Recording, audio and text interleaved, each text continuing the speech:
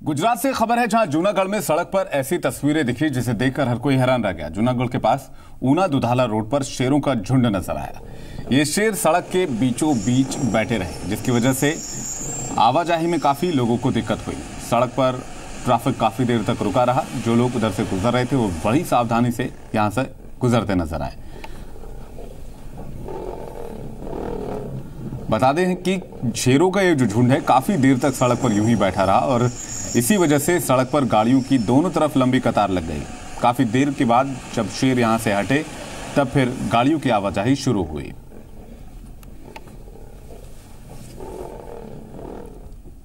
देश में मानसून दस्तक दे चुका है और देश के कई हिस्सों में झमाझम बारिश हो रही है। हम आपको मुंबई और गुजरात की दो तस्वीरें दिखाते हैं।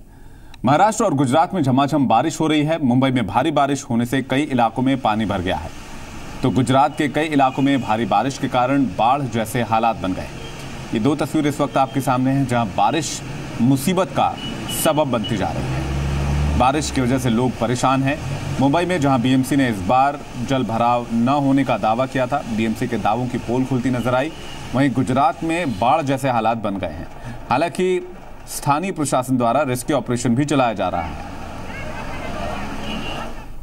बात गुजरात की करें तो गुजरात के वालसाड़ में भारी बारिश हो रही है। भारी बारिश के कारण वालसाड़ के कई इलाकों में बाढ़ जैसे हालात बन गए। उमरगांव का भिलाड इलाका भारी बारिश के कारण पानी पानी हो गया। तेज बारिश के चलते कई घरों में पानी घुसाया है। कई गाँव में बारिश का पानी घुसा हुआ है। प्रशासन ने यहाँ बारिश के पानी में फंसे लोगों को निकालने के लिए रेस्क्यू ऑपरेशन भी शुरू किया है। नौ लोगों को फायर ब्रिगेड की टीम ने रेस्क्यू कर बचाया है। पंद्रह जानवरों को भी रेस्क्यू कर बाहर निकाला गया है। वालसाड़ में पाँच टीमों को रेस्क्यू के लिए तैनात किया गया है।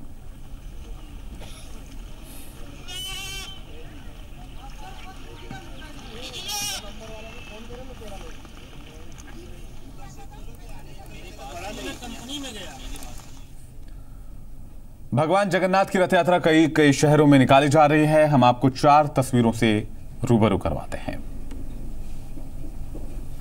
पहली तस्वीर पुरी की है। पुरी में विश्व प्रसिद्ध भगवान जगन्नाथ की रथ यात्रा निकलती है। कार्यक्रम में दुनिया भर से लाखों श्रद्धालु हिस्सा लेने के लिए यहाँ पर आते हैं और बताया जाता है कि लाखों की संख्या में आज पुरी में भीड़ होती है। आज के दिन भगवान जगन्नाथ, भाई बलभद्र और बहन सुभद्रा के साथ अपने जन्मस्थान श्री गुंडिचा मंदिर जाते हैं।